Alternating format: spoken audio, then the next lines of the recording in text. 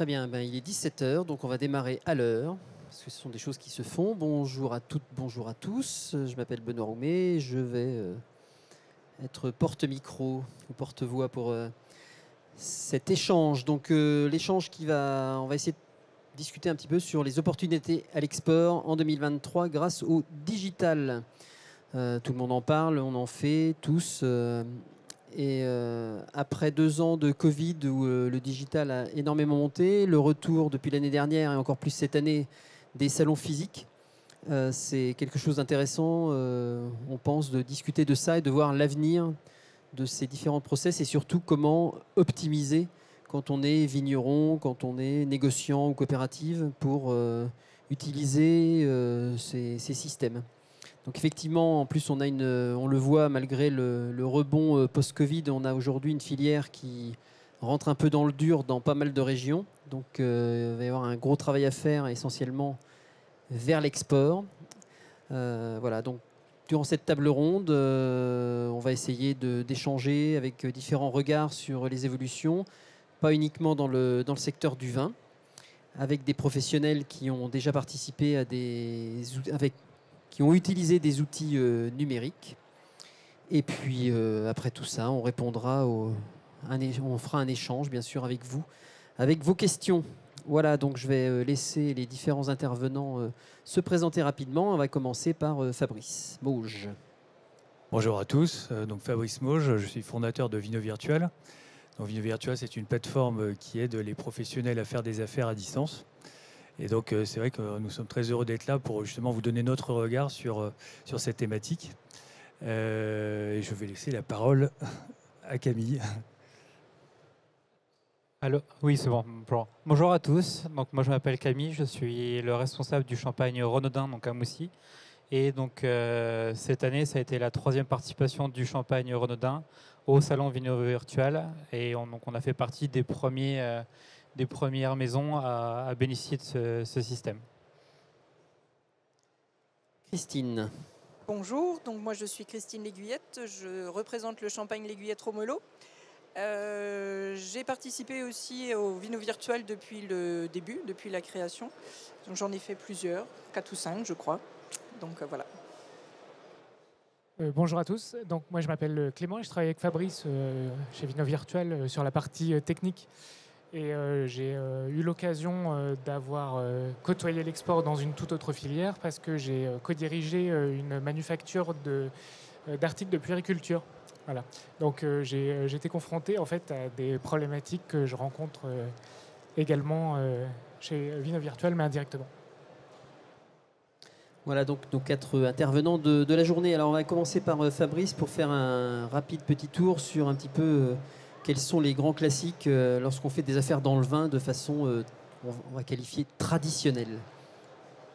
Bon, évidemment, euh, je vais enfoncer quelques portes ouvertes, mais c'est pour essayer de donner aussi des ratios. Parce que c'est vrai que dans la filière, on a tendance à croire que il faut faire tel ou tel type d'action et qu'elle est tout à fait pérenne. Alors en fait, nous, on a regardé concrètement comment ça se passait.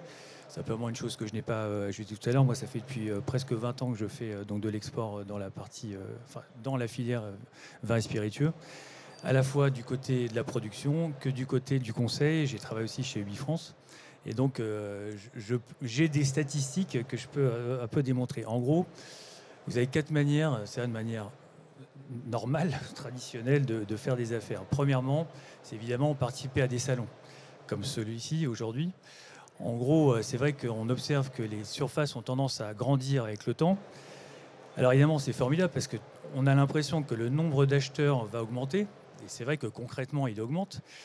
Parce que plus il y a de vignerons, plus et de producteurs, plus on a envie évidemment de- de- de- d'avoir un stand. Mais à la fois aussi, ça a l'effet pervers inverse, c'est-à-dire que le nombre d'acheteurs par stand, en fait, a tendance à baisser. Donc, c'est-à-dire que ça impose à chacun de faire un travail vraiment en amont, de pouvoir aller au-devant des acheteurs, sans quoi, en fait, on a bah, des brebis galeuses qui viennent sur son stand. Donc, euh, le- ce qu'on observe, c'est que, un, aussi, euh, donc c'est ça, c'est ce problème de qualification, ce problème aussi de coût, puisqu'en fait, euh, bon, vous savez, pour certains qui ont des stands, c'est pas forcément, pas forcément cadeau. Donc il y a cette double problématique, on va dire, à la fois de qualification, mais aussi un problème de, frais. Donc ça, en gros, sur trois jours de salon, si on ne prépare pas son salon, on a, allez, 3, 4, 5 opportunités peut-être. Ça en fait 15 au final sur, les trois jours. Deuxième option, vous avez aussi les mini-expositions. Donc les mini-expositions que vous connaissez via Business France, via d'autres euh, organismes, euh, One for Trade, les autres. Euh, là, on est sur une autre logique, c'est qu'on est sur un marché en particulier, et là, on va rencontrer pendant 4-5 heures donc des, des, acheteurs. Dans ce cas-là, évidemment, c'est moindre en termes de coûts. Il faut compter quand même entre 2500 et 3500 tout, tout compris voire plus si on va vraiment au grand export. Et là, en fait, vous allez rencontrer à peu près une quinzaine d'entreprises, enfin une douze quinzaine d'entreprises, pour avoir en qualification entre, allez, 3, 5 opportunités qualifiées, et vous arrivez avec une commande entre, enfin, entre 0 et 2, et 2, c'est vraiment quand ça se passe très très bien. Alors sinon, évidemment, euh, l'autre euh, l'autre logique, c'est d'y aller en direct, soi-même. Donc je prends mon téléphone, donc il faut acquérir des bases, il faut, euh, il faut y aller. Et enfin, la dernière chose, c'est vous externaliser la partie commerciale avec des missions de prospection, donc des organismes spécialisés qui, eux, vont faire le travail. Donc dans ces cas-là, évidemment, on est euh, dans une qualification ultime, puisqu'on a un rendez-vous qui est pris sur le terrain, sur un marché bien précis.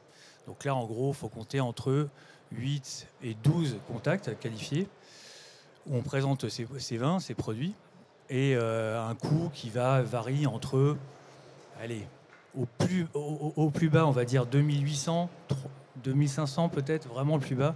On est plutôt dans les 3000, 3500 euros, plus les frais derrière. Donc euh, voilà comment ça se présente du, euh, du meilleur général. Alors Camille, vous, par rapport à ces sujets-là, qu'est-ce que vous faites Qu'est-ce que vous faisiez avant justement de participer à votre premier salon via Vino Virtuel? Donc moi au Champagne Ordonnance, ça fait bientôt 4 ans que j'y suis. Euh, donc nous, on était enfin, traditionnel, euh, un, petit peu salon euh, physique. Après, on a des problématiques de transmission qui sont de plus en plus fréquents en Champagne et qui, malgré tout, est important à gérer. Donc un peu moins de temps pour se déplacer, plus de présence sur le domaine pour gérer l'ensemble. Euh, et, le fait de dédier quelqu'un à 100% pendant trois jours euh, sur des périodes qui sont euh, assez compliquées à gérer commercialement, c'est pas simple. Donc le fait d'avoir cette opportunité de participer à des salons virtuels, de par le Covid, a aussi accéléré un petit peu la chose, mais peut être aussi un bon moyen, une belle opportunité. À moindre coût, on n'est pas là à dépenser des milliers d'euros donc pour avoir des retours qui sont plus ou moins bons. Euh, qui ne sont pas assurés. Là, on a vraiment une plateforme sur laquelle on peut être en contact avec des importateurs ou des professionnels. On est, ça peut être en France à l'export et qui nous permet justement de cibler les personnes qui nous conviennent. Euh, nous, par exemple, on est certifié HVE, mais on n'est pas bio. Certains cherchent du bio, euh, d'autres de la biodynamie. Nous, on n'est pas forcément éligible à ce type d'offres, mais ça, on le sait de par la fiche d'identité de cet importateur. Donc, c'est pour ça d'avoir une, une opportunité comme ça là peut être aussi intéressante euh, pour des personnes qui ne peuvent pas se, déplacer, malgré le fait qu'une présence physique des fois est quand même importante pour euh, soutenir le marché export et soutenir euh, la, présence commerciale. Christine, vous de votre côté, comment vous faisiez, on va dire, avant le digital?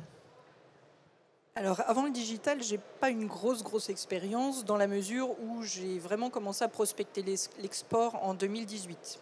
Donc vous voyez, le, temps avant Covid était court. Mais euh, j'ai fait comme mes collègues, je, suis partie euh, à l'étranger sur des salons par, le biais d'associations ou de structures. Euh, donc vous prenez l'avion, vous partez 2-3 jours, vous rencontrez, comme dit Fabrice, des, importateurs. si vous allez au Danemark, vous ne rencontrez que des Danois. En revanche, quand il y a eu le Covid, c'est vrai qu'il y a eu un. J'ai eu peur que ça stoppe cette dynamique que j'avais mis en place depuis deux ans et je ne savais pas trop où aller. Donc c'est vrai que ce salon virtuel, du coup, a été un bon compromis. Ça a permis de garder contact avec des, acheteurs que j'avais euh, déjà euh, dans, mon, dans, mon carnet, finalement, euh, puisque certains se sont inscrits sur le, Vino virtuel. Donc on, a pu au moins se voir et discuter. Et puis ça a permis aussi de créer des liens avec d'autres acteurs, d'autres pays, Et tout en restant chez soi, euh, on n'est pas cantonné à un pays. Et c'est ça qui est intéressant, malgré tout. Et du coup, on a pu continuer à développer l'export doucement grâce à ce, salon virtuel. Euh, euh, et aujourd'hui, j'avoue que j'en suis pas mécontente. C'est parfait, c'est le plus important. C'est le résultat. Euh, donc voilà, on a commencé à déborder un petit peu, mais ce qui est logique sur la solution qui était apportée, donc sur les, solutions digitales. Euh, Fabrice, je reviens vers vous. Donc euh, effectivement, c'est quoi les avantages de travailler avec le digital? On va le voir au sens large du terme. Bah, surtout, selon nous, hein, c'est vraiment le gain de temps. gain de temps, parce qu'en fait, on va être sur la notion de qualification. Et ça, c'est vraiment l'intérêt majeur c'est comme ça de, ne pas avoir à, prospecter à tout va, d'attendre en fait le chaland. Là, on est dans une logique un petit peu euh, dynamique. Donc ça, c'est le, premier point. Il y a aussi la, notion de coût, puisqu'en fait, évidemment, on n'a pas du tout la même, euh, c'est pas du tout la même structure. Donc ça, c'est aussi intéressant. Mais en gros, d'une manière générale, euh, le, digital, il n'y a pas évidemment que nous. Hein. L'idée, c'était aussi de, balayer un peu les autres choses. Il y a aujourd'hui, de manière traditionnelle, l'emailing. Et l'emailing, c'est ce que beaucoup de font. Euh, je ne sais pas, vous avez peut-être aussi euh, expérimenté la chose. En gros, c'est euh, un petit peu. ça a été le, mode de fonctionnement, ça continue d'être d'ailleurs. Mais l'inconvénient de cela, c'est qu'en fait, on a tendance à surcharger les acheteurs d'informations. Et en fait, comment réussir à se distinguer dans tout ça? Et ça, c'est un vrai sujet. Alors, euh, il y a des techniques euh, qui existent, des techniques déjà marketing pour faire en sorte que l'objet soit intéressant, que le mail aussi soit intéressant, et aussi d'avoir les bases de contact. Alors, il y a des, euh, quand je dis des, solutions, notamment vous avez les solutions type location de fichiers. Donc, on va faire un emailing auprès d'un parterre d'acheteurs, mais on matraque. Bon, ça, ça n'a pas forcément de sens. Donc il y a des techniques comme ça pour essayer de faire en sorte que l'objet soit attrayant et aussi que le mail donne envie ensuite d'aller euh, d'aller au bout. Alors sinon, euh, il y a aussi un autre euh, système, c'est le système des, réseaux sociaux. Alors certains l'utilisent comme ça via Instagram, ça peut fonctionner. D'où en fait l'importance de communiquer via ce, via ce biais. Parce qu'en l'occurrence, vous avez certains acheteurs qui, eux, regardent sur Instagram les sorties de certains producteurs, etc., font des likes, et certains sont très familiers avec ça, et ça va leur permettre en fait d'initier, du contact. Et je connais certains producteurs qui ont réussi à, trouver les importateurs par, ce biais. Donc ça, c'est aussi une, façon euh, pas inintéressante. Alors il y a sinon, euh, toujours dans la partie digitale, vous avez euh, ceux qui, travaillent aussi via des, plateformes plateforme d'e-commerce. De, bon, sur l'export, c'est un petit peu compliqué. Sur la France, évidemment, il n'y a pas de difficulté. Certains sont présents ici, là, sur WineTech. Et ça permet donc d'avoir une représentation euh, à moindre coût pour essayer de commercialiser les vins. Donc l'avantage, c'est que là, on ne perd pas de temps. C'est la plateforme qui fait le travail. Donc ça, c'est euh, c'est intéressant. Alors sinon, il y a d'autres euh, techniques qui peuvent être utilisées. Alors là, c'est un petit peu de la science-fiction, hein, je, m'en excuse mais euh, c'est euh, ce qui se passe en dehors de la filière. La filière, elle euh, ne fonctionne pas encore de par ce biais. Vous avez la notion d'automatisation de la partie commerciale. Alors, c'est un, gros mot anglais, ça s'appelle growth hacking, voilà, pour faire simple. C'est à la fois de la recherche de, données qu'on va pouvoir obtenir, mais c'est aussi une forme d'automatisation. Celui qui va pouvoir en parler, c'est Clément, s'il connaît bien ce système. ce, ce principe-là permet justement de, travailler de manière efficace. Et je vais peut-être euh, peut-être plus te laisser la parole. Oui, il bah, n'y a pas, de problème. De toute façon, il y, a, aussi un élément, euh, il y a l'automatisation d'une part, et il y a aussi un élément qui revient euh, très souvent, justement, c'est celui de la répétition. dans les techniques, dans le growth hacking, une fois que tu as une base de données plus ou moins qualifiée, le but du jeu, c'est d'essayer d'automatiser justement la qualification de la donnée pour avoir un interlocuteur euh, de le connaître de mieux en mieux avec, euh, avec différents euh, refinements des, données et ensuite à le contacter à plusieurs reprises. et là, on espère sortir du lot avec, avec certains outils qui sont traditionnellement dédiés aux agences justement marketing très, très spécialisées. Donc qui ne sont pas forcément accessibles aux, on va dire, aux, producteurs de prime abord comme ça, sans accompagnement. En plus, c'est un savoir à acquérir, un savoir-faire qui est assez, euh, assez pointu, on ne va pas se mentir. Alors, côté, côté salon, on en parle aussi, parce qu'il y a différents types de salons qui, euh, qui ont mis en place des choses. Absolument. Bah, vous avez euh, probablement vu bah, ici à One Paris hein, le, développement d'une offre qui permette de prendre des rendez-vous en amont du salon. Donc ça, c'est un mode de fonctionnement un petit peu comme le nôtre, hein, c'est d'avoir une base d'acheteurs et de pouvoir réussir à identifier euh, les contacts avec qui on sera, intéressé. Donc là, on est sur un mode, on va dire, hybride. Millésime Bio aussi a fait la même chose, a proposé deux jours en fait de salon en amont euh, de Millésime Bio lui-même, de manière à prendre des rendez-vous euh, euh, en, vue de se rencontrer en physique. Donc ça, c'est intéressant. Ça permet d'avoir bah, d'utiliser ça comme un outil vraiment pourvoyeur en fait de contact. Alors on a nos confrères aussi, certains qui font euh, de l'hybride. Donc le principe, c'est que vous, vous ne vous déplacez pas. Vous envoyez vos échantillons sur une destination avec donc des acheteurs qui eux sont invités. Ils bénéficient donc euh, d'une d'une tablette et peuvent vous rencontrer euh, comme ça euh, euh, pendant euh, X minutes tout en dégustant. Donc là, on est vraiment dans une formule complètement hybride. Donc c'est Break Events notamment qui, fait ça sur des villes où il y a un parterre d'acheteurs relativement concentré. Donc là, ça, fonctionne bien.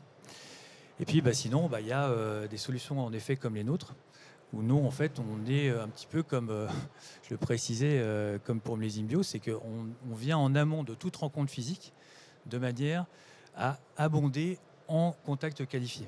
Donc ça, c'est vraiment notre euh, façon de faire, en tout cas. C'est le fait de dire qu'on ne se rencontre que si on a un intérêt conjoint euh, sur, un, sur un, produit, euh, euh, un, produit spécifique.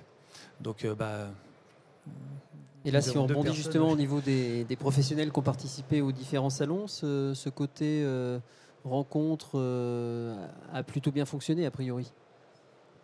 Oui, après, voilà, on a, par rapport à la première année, forcément, l'idéal, c'est que les vignerons donnent le retour euh, à des personnes comme Fabrice qui gèrent l'ensemble pour voir les choses à améliorer, le temps de parole, etc. Les connexions, le, le fait que les importateurs soient certifiés ou contrôlés euh, en amont pour éviter de, sauter des rendez-vous. Mais euh, voilà, au fur et à mesure des, choses, ça se, met en place. Et euh, notamment sur la dernière édition qu'il y a eu, euh, du moins pour les champagnes la semaine dernière, euh, il n'y a pas eu de, soucis à déplorer. Euh, tout s'est bien passé, aucun problème de connexion. Tout le monde, euh, était présent et au rendez-vous, alerte euh, par rapport à ce qu'on peut dire. Et euh, comme le dit Fabrice auparavant, c'est voilà, c'est les prospects étaient, étaient qualifiés donc, euh, et correspondaient nous à ce qu'on à ce qu'on souhaitait et les professionnels correspondaient à ce que nous on cherchait. Christine, de votre côté? Oui, je rejoins un peu Camille. Effectivement, euh, l'avantage de, ce- de ces salons virtuels, c'est que euh, effectivement, on peut travailler en amont avec la liste des, des- des acheteurs qui sont inscrits, comme les acheteurs peuvent travailler aussi en amont pour choisir leur viticulteur. Donc, euh, vous, vous avez les fiches acheteurs qui sont à disposition.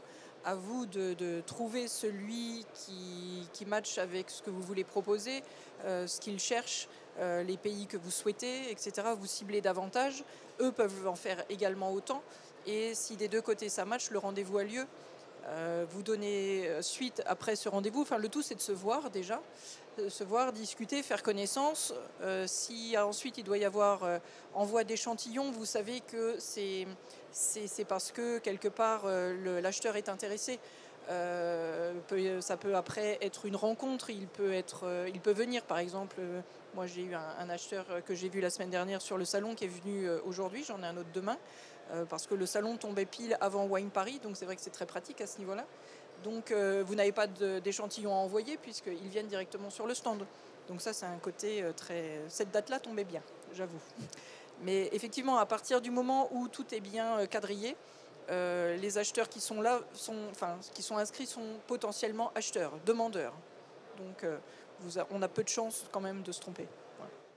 Je rebondis aussi là-dessus pour euh, Fabrice. Donc effectivement, on a une qualification euh, du côté des acheteurs et également une qualification au niveau de l'offre, donc au niveau des professionnels qui présentent euh, leur champagne ou leur effervescent par exemple.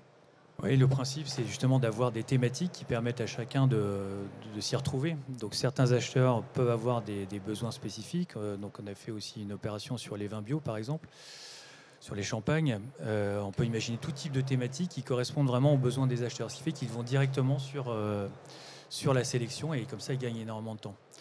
Euh, du côté des acheteurs, bah, c'est pareil, puisque euh, eux, euh, je suis perdu, les acheteurs et producteurs, enfin les deux côtés, si vous voulez, on se retrouve sur un, thème qui, nous intéresse. Donc, on augmente la qualification, et donc ce sont de potentiels acheteurs et vendeurs qui sont là, et pas pour, pour rien. Donc ça, c'est l'avantage.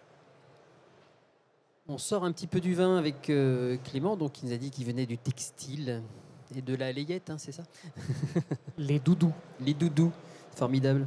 Euh, l'expérience, que vous avez, vous, par rapport à tout ce qui est euh, prospect, coût de, on va dire, de démarchage, euh, comment vous le voyez et comment derrière vous le voyez appliqué au vin?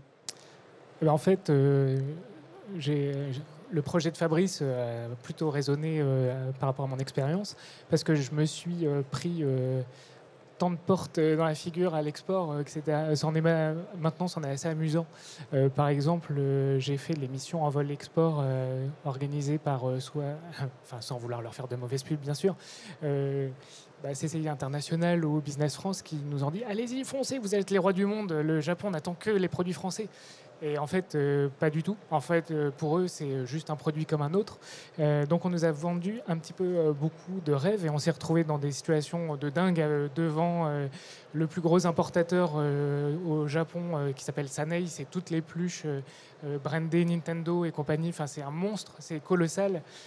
donc, malgré que nos produits aient plus euh, ils adoraient nos produits, ça leur rappelait euh, l'histoire du début de la marque Sanei. Euh, donc là-bas, enfin, c'était assez émouvant par ailleurs.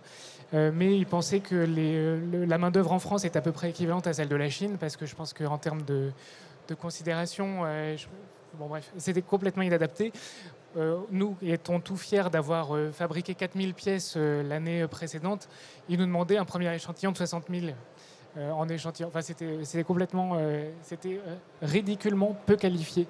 mais par contre, Heureusement qu'il y a eu un ticket modérateur de la région pour limiter un tout petit peu la casse, mais c'est catastrophique. C'était que des rendez-vous complètement à côté de la plaque, sauf un qui était un petit agent français installé au Japon, euh, qui lui en fait a fait dit bah non on va commencer doucement, on va faire les foires euh, françaises au Japon. Euh, et donc là en fait c'est une débouchée qui a continué par la suite, sauf qu'on a mis deux ans pour convertir cette affaire-là en fait, parce qu'on a été donc les rencontrer une première fois. Euh, il s'est rien passé parce que c'était pas forcément tout à fait le moment. Et comme on a, du mal à comprendre, on a fait une deuxième mission en vol export deux ans plus tard pour être sûr d'être vraiment complètement à côté de la plaque.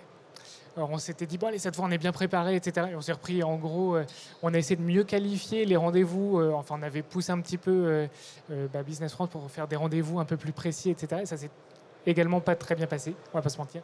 Et parce que nous, on n'était pas prêts, en fait, à la fois le, les, acheteurs ne correspondent pas du tout à notre produit. Et parce que nous, en fait, on n'était pas assez sélectif, etc. On n'était pas, on s'est dit, on prend tout à bras le corps, et en fait, c'était une erreur euh, funeste. Euh, mais tout ça pour dire que euh, la première rencontre, on aurait très bien pu la faire, la préqualifier justement par un biais digital. Il n'y avait aucune raison d'aller la première fois au Japon. parce qu'en fait, on aurait tout de suite vu avec les 4-5e que ça ne matchait pas et qu'il y avait une marque d'intérêt intéressante à travailler un petit peu sur le long terme avant de transformer sur place et de faire affaire comme on l'a fait en fait la deuxième fois. Donc on aurait pu économiser 4600 euros hors frais d'avion. quoi. Donc voilà le en fait, j'ai tout de suite compris euh, qu'il y avait, euh, enfin, ce qui me semble être euh, des problématiques assez similaires en termes d'outillage et de communication dans une certaine mesure avec la filière du vin. Je ne sais pas si je peux détailler sur un autre aspect particulièrement. C'est très juste. Hein. C'est vrai que c'est, on, est, bah, ça on le sait depuis très longtemps, c'est essayer de qualifier aussi bien en termes de quantité. Ça, c'est clair que c'est souvent la base.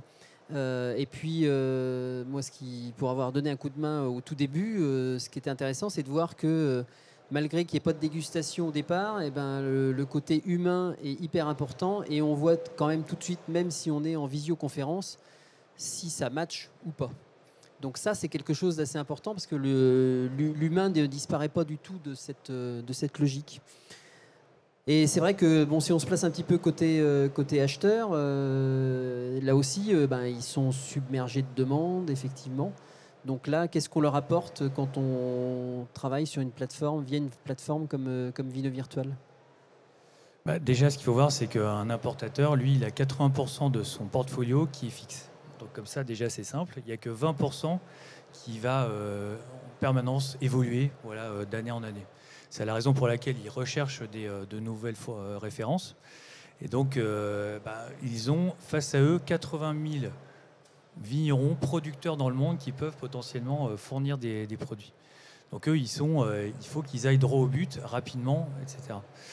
Donc ils participent bien sûr à des salons, mais ce qui va être très important pour eux, c'est de voir que le produit est marchand, qu'il il y a un storytelling, excusez-moi l'anglicisme, mais donc il va y avoir aussi un intérêt pour lui pour le représenter.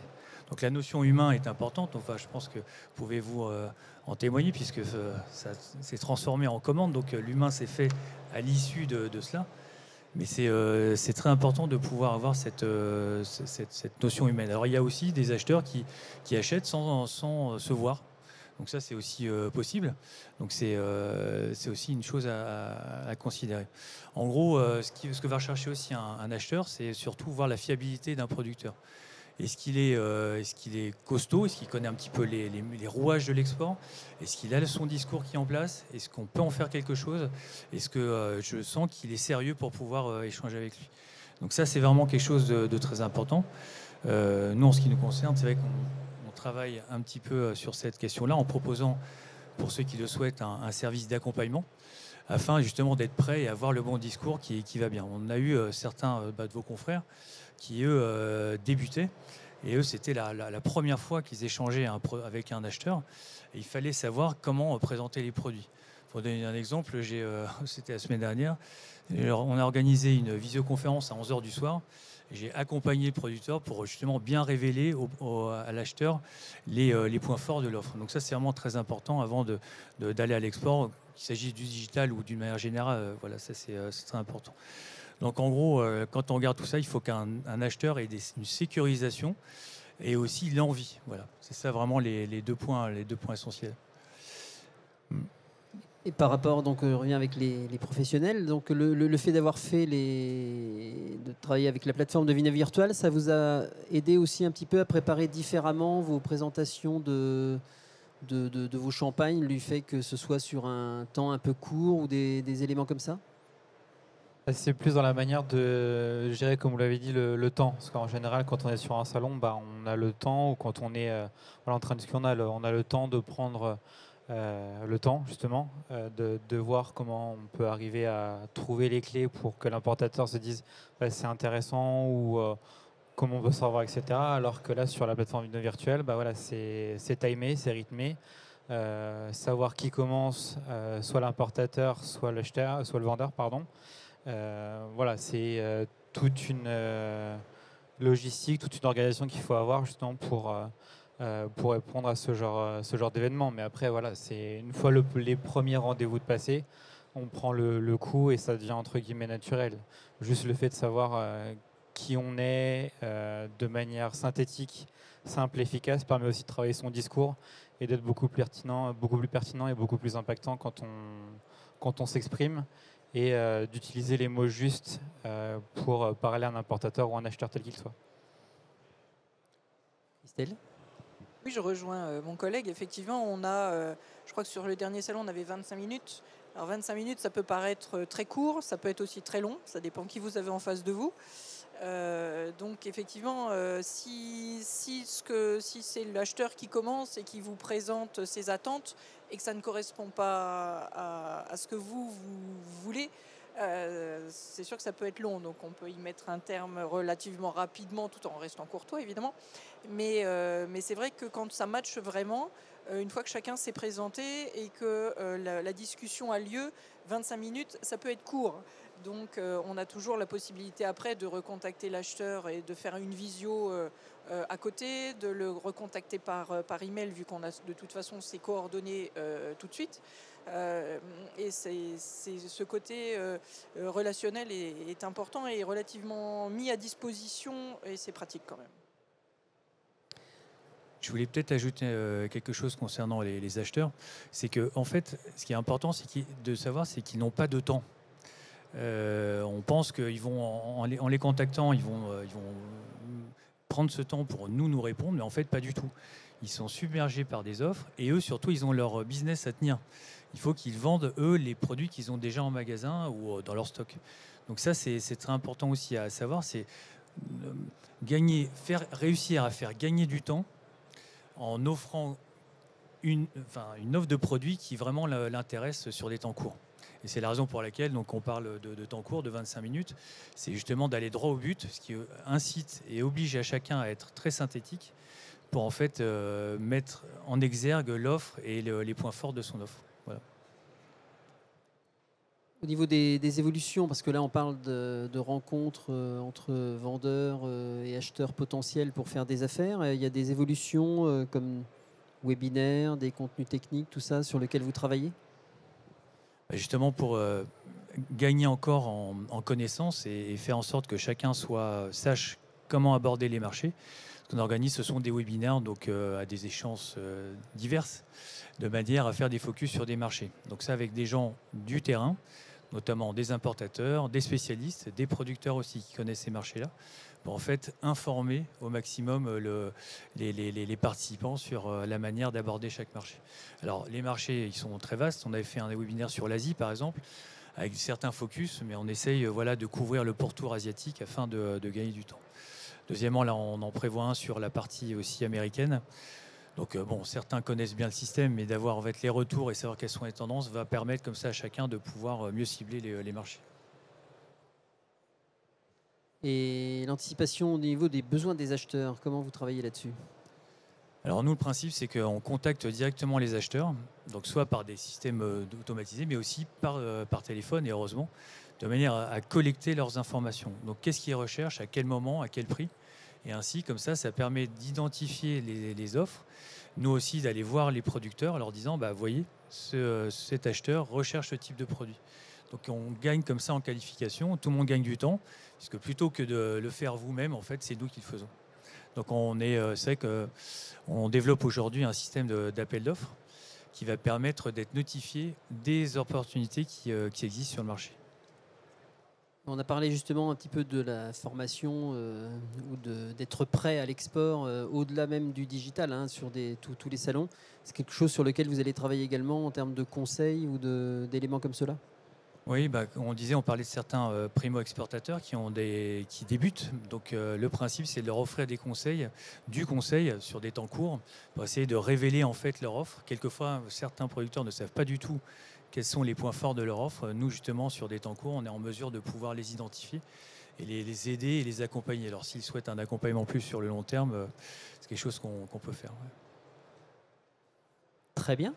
Mmh on avait aussi euh, un témoignage d'acheteurs aussi que nous avons euh, enregistré qui va permettre vous de. Euh, on a, je vais aller, je vais aller toquer à la Ça discute dans le, en cabine. Les techniciens ne sont plus avec nous. Retour au salon traditionnel.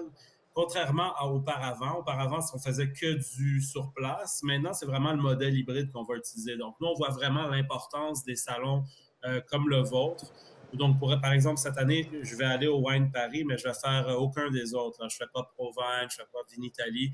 Donc, c'est vraiment, ça risque d'être différent un peu à chaque année, mais ça va être euh, toujours une combinaison, je dirais, quelques salons virtuels et puis un ou deux gros salons en personne. La, raison, c'est bon, pour les coûts, c'est toujours euh, beaucoup euh, moins dispendieux comme dépenses et salons comme le vôtre.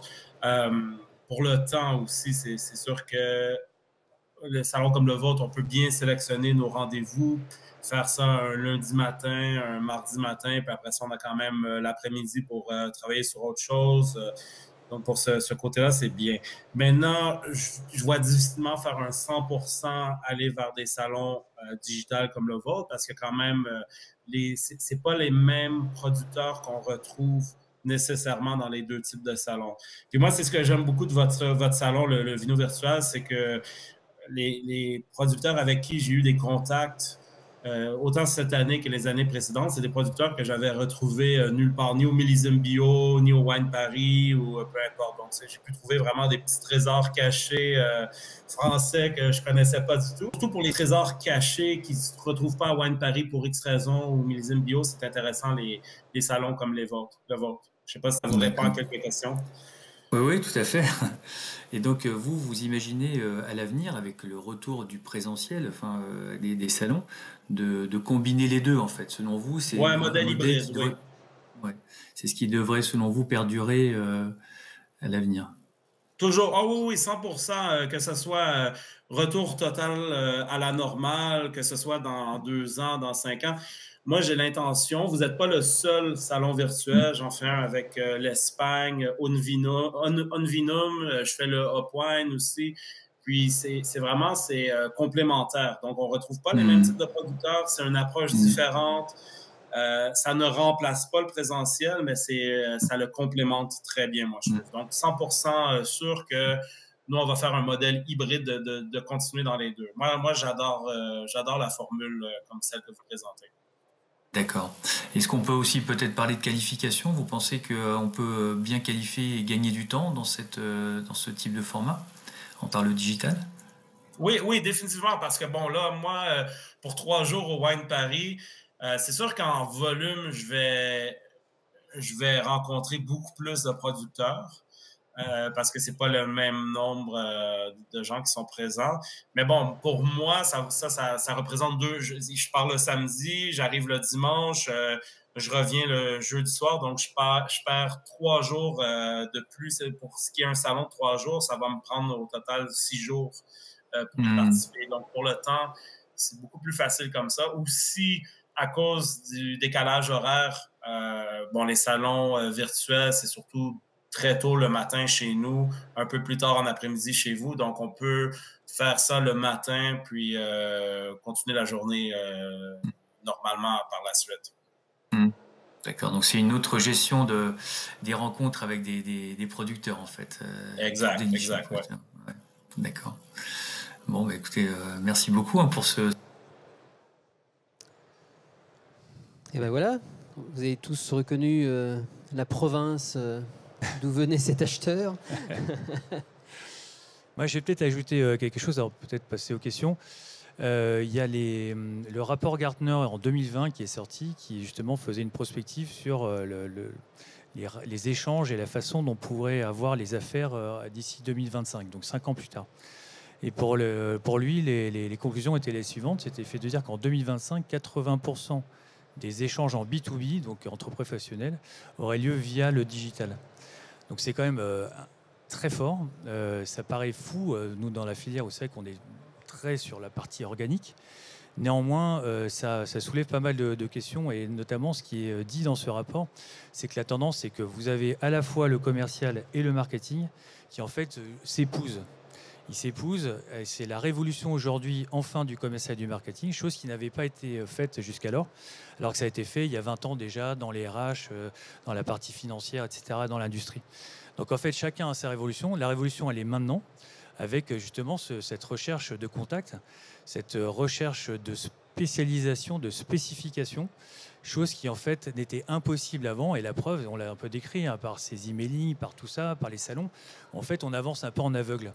Alors qu'aujourd'hui, par ces méthodes et par le digital, on a cette possibilité d'avoir des choses très précises et avoir des contacts qualifiés. Et ça, c'est euh, le, le, grand plus. Voilà. Très bien. Est-ce que dans l'assistance, vous avez des questions?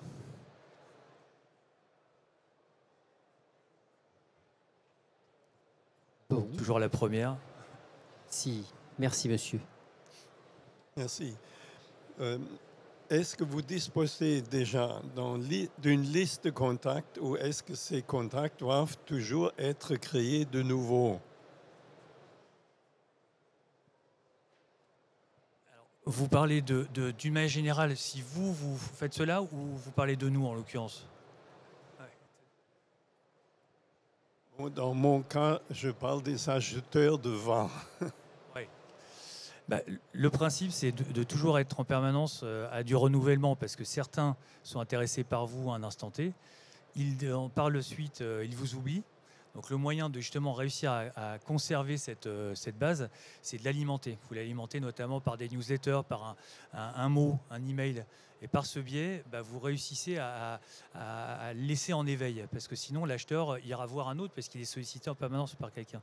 Donc le principe, c'est d'une part, c'est assurer ce maintien de votre base et en plus d'aller en, en chercher d'autres pour toujours avoir une, base de données qui, qui soit vivante. Sinon, elle, se décrémente avec le temps. On s'aperçoit en général que, les, bah, comme partout, hein, les, gens, en plus dans toutes les entreprises, changent d'entreprise. Les acheteurs ne sont pas les mêmes. Les acheteurs, suivant les entreprises, vont être pur vin, d'autres vont être euh, uniquement sur la France, d'autres vont être plus sur les styles de vin. Donc euh, c'est vrai qu'à chaque thématique, euh, on peut, pour une même entreprise, avoir euh, soit des entreprises différentes, soit des personnes différentes, soit la même personne. En gros, une base de données, si on ne fait rien, chaque année, vous avez au moins 15% de façon qu'il faut renouveler. Parce qu'il y a des changements, ils changent de poste, l'entreprise n'existe plus. Donc en fait, en 5 ans, vous êtes sûr qu'il y a au moins 30 à 40% qu'il faut, qu'il faut revoir.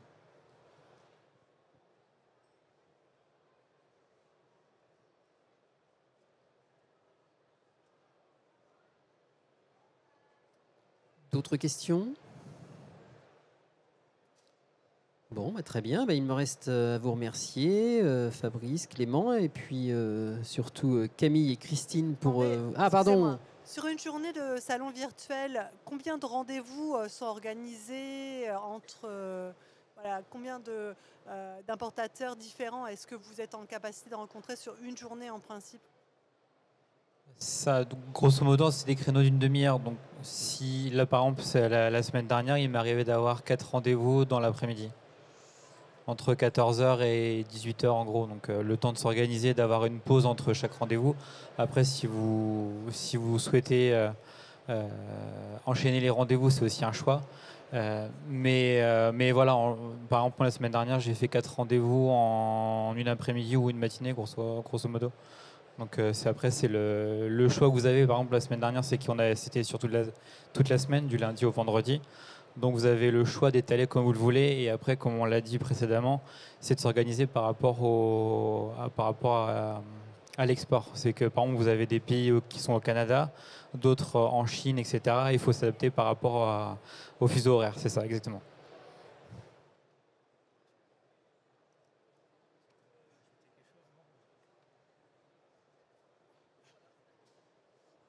On a eu sur certaines éditions euh, des, producteurs qui étaient très actifs et qui ont eu jusqu'à 25 rendez-vous sur trois jours. Donc eux, par contre, vous voyez, c'était extrêmement dense. tout dépend en fait euh, de l'offre qu'on a, aussi de comment on utilise la plateforme. Hmm. Mais parfois, il suffit d'un seul rendez-vous pour que vous soyez content. ça, ça change rien. Hein. Ça, reste de toute façon, euh, au-delà du virtuel qui est un outil et tout ça, on s'aperçoit que on va avoir des. L'intérêt, il est vraiment là. C'est, euh, je parle sous, votre contrôle, c'est vraiment de qualifier. On en revient là-dessus. Je pense que cette qualification de contact est vraiment la plus importante. Et ce qui est fait par euh, vos équipes, justement, on n'est jamais à 100% parce que effectivement, il y a des des, entreprises qui sont en fin de vie ou qui vont euh, disparaître euh, peu de temps après, mais elles-mêmes ne le savent pas encore. Mais globalement, c'est ça quand même ce qui fait l'intérêt de, l'outil. Et puis de voir tout de suite, sans vous déplacer, des fois, on a vu, euh, donc toujours sur cette première édition, des acheteurs qui ont pris le temps de demander des rendez-vous à des producteurs, et ils nous l'ont dit clairement, qu'ils n'auraient jamais été visités sur un salon. Mais là, ils avaient pris leur après-midi pour, euh, pour Vino Virtual.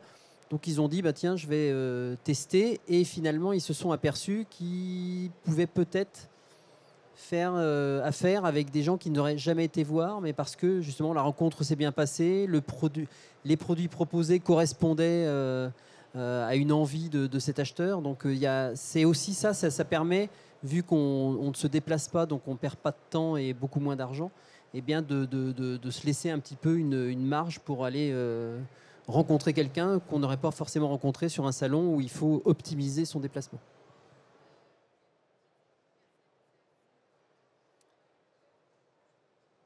D'autres questions? Non? Eh bien parfait. Donc il reste à vous remercier, vous public, d'avoir participé euh, à cette présentation. Merci euh, Fabrice, euh, Clément, et puis Camille et Christine. Merci beaucoup. Et pour ceux qui le souhaitent, vous êtes invités au bar à côté. Merci. C'est la surprise. Et ça, par contre, on n'a pas encore trouvé un vino virtuel sur le côté. Donc, si vous le souhaitez, vous pouvez venir partager avec nous ce qu'on appelle dans ma région à Sancerre le verre de l'amitié. Voilà. Merci à vous.